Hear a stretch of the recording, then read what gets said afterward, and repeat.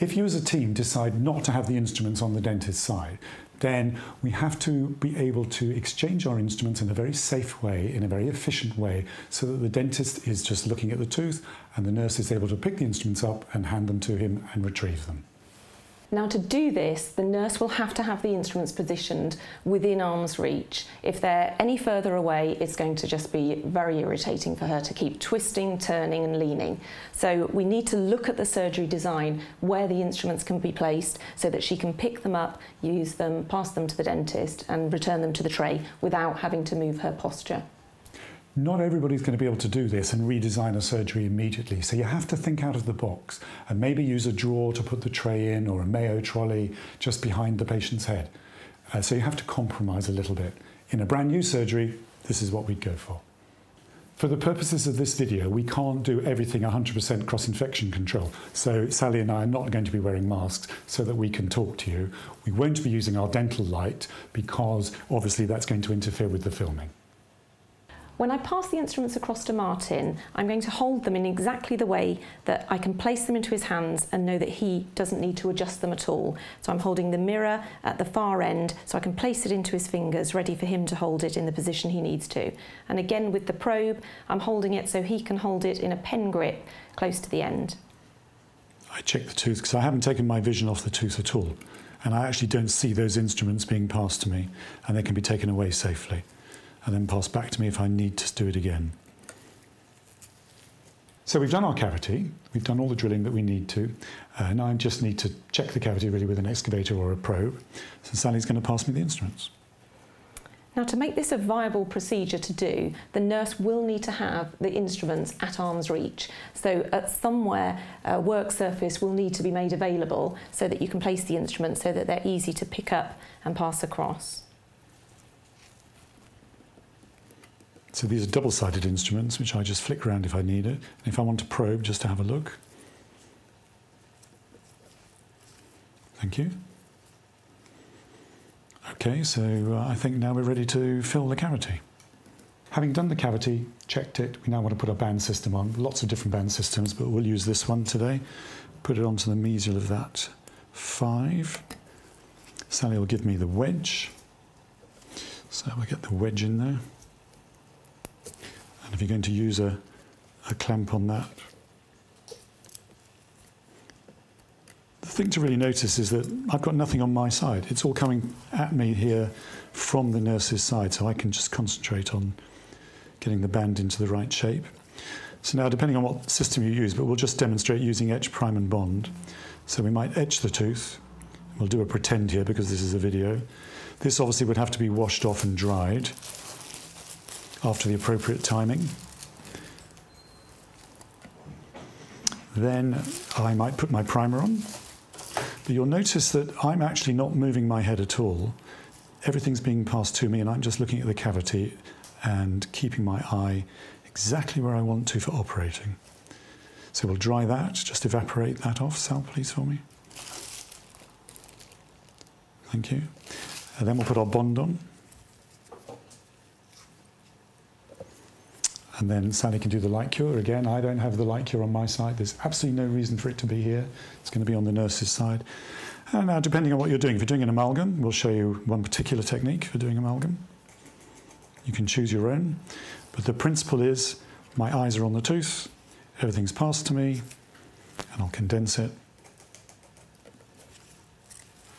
I'm not looking up at all. And once we've finished condensing, I might want a ball-ended burnisher just to do a little bit more work on it. Then I might have a probe. You'll notice that Sally's anticipating what I need in advance of me really needing it. And then we would take the band off in exactly the same way, which I'll demonstrate in a moment after using composites. So if it was a composite, again, whatever technique you use, uh, we'll put some composite in, having done our etch, prime and bond already.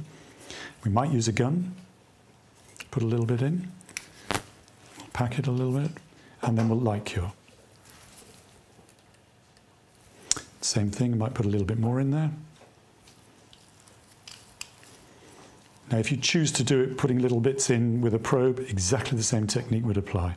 It's just coming from the nurse's side. Having done all of that, we now need to get rid of all this stuff that's in the mouth. So we want to take the uh, band off and it goes to the nurse's side. We then take the wedge out. Gets boring, it goes to the nurse's side. We take the band off and it goes to the nurse's side. Now we can just finish it off in any way you want to do it. There are lots of different ways of passing instruments and you'll develop your own way uh, between you and your dentist. But this method seems to work with all of the instruments we pass. I will pick the instrument up. I'm using the non-working end. I know Martyn wants to hold the instrument in a pen-like grip, so I don't want to hold the instrument in that place. So I'm going to grip the instrument at the end, but very firmly, because I need to be able to place that into his hand without him looking up. And that's very crucial that you're very firm with the placement of it. When we're exchanging instruments, I'm doing exactly the same again, but I'm taking the bottom instrument and we've got a parallel exchange going on and then dropping the instrument down into his fingers. So just slowly doing that. I'm taking, I'm actually transferring the instrument back up because it's a slightly firmer way of passing than keeping it in your little finger. Uh, so I'm changing and placing. And if we need to move on to the next instrument, I'm able to just reach it, pass it across, and the same technique applies.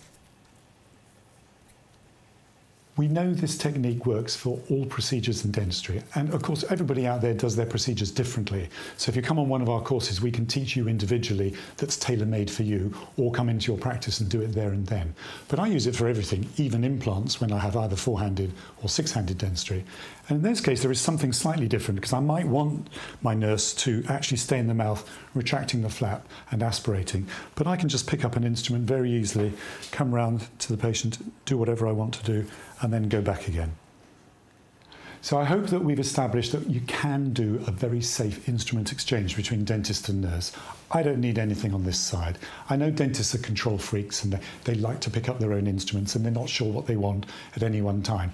But with a little bit of communication, you can learn between you that Sally will almost know ahead of me because she's been working with me for so long what instrument I want. And I just sit there, look at the tooth, and that instrument's handed to me.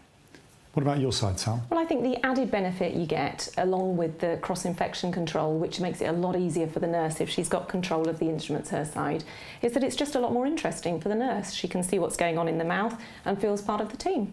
And in fact, Sally often says, because she's sitting in a different position to me, eyeline-wise, she'll say, have a look at the distal of this bit of tooth. I think there's something there that you might need to look at. And it's great to have that teamwork between us. Patients really appreciate it.